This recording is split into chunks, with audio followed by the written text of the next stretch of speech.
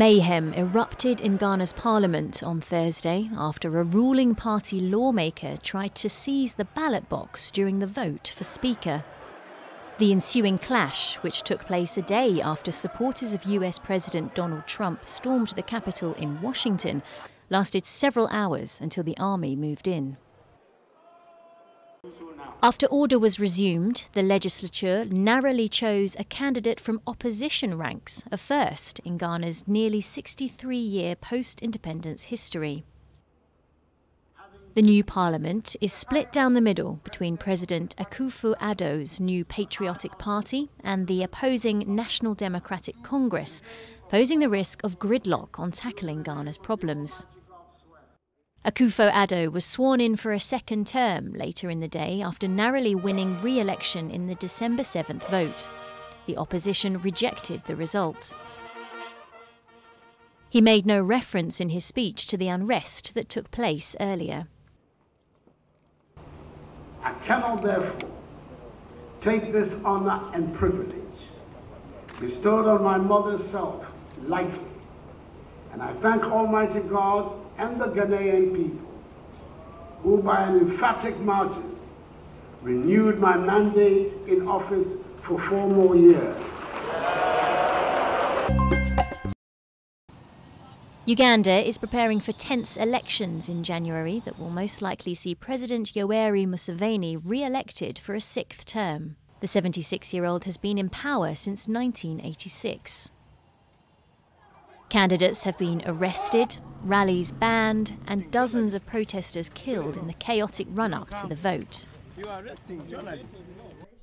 Police dragged main opposition candidate Bobby Wine from his car on Thursday as he spoke to journalists in an online briefing while campaigning. Go for a few minutes and you're able to, to read. As a matter of fact, as a matter of fact, I would really, really uh, now I'm being arrested. As you can see, I'm being arrested. Who is the presidential candidate? But, but... Wine, a former pop star whose real name is Robert Kyagulanyi, has filed a complaint against Museveni at the International Criminal Court for crimes against humanity. He's been arrested countless times and sent his family to the United States for safety. But commentators and voters alike already know the election outcome. We know that if Bobby Wine will not win, even if they we vote, we used to vote, but we will not win. Wine himself told AFP in an interview that his participation in the election was strategic. Coming out to vote, this is going to be more or less a protest vote, in my view, you know. And protesting comes in voting, and protesting comes also in demonstration, for as long as it is within the acceptable legal confines. Millions of Kenyan pupils returned to school on Monday for the first time since classes were dismissed 10 months earlier due to the coronavirus pandemic. Kenya shut schools in March 2020 and partially reopened to select classes in October. But this caused a spike in COVID 19 cases, with pupils and teachers falling ill, with at least one school principal dying. There were mixed feelings as children returned to school this time round.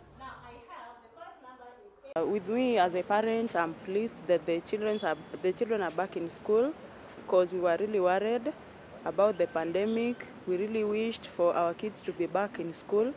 And at the moment, we are very happy that the, our kids are back in school.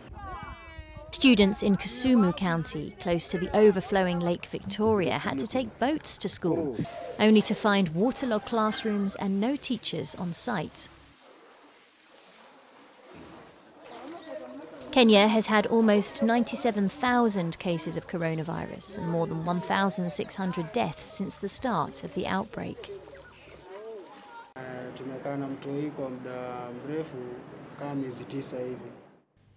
We stayed with my child for a very long time, like nine months.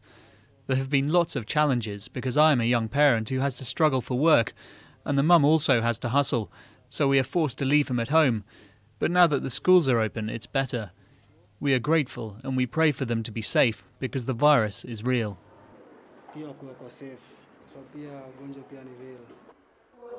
Authorities have extended a 10 pm to 4 am curfew until the 12th of March.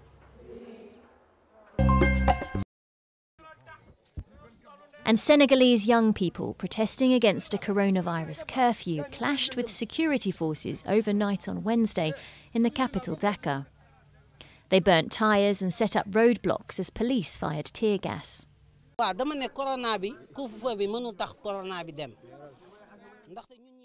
The curfew is not going to make the virus go away. Gatherings continue to take place in buses and markets during the day. It's an ineffective measure.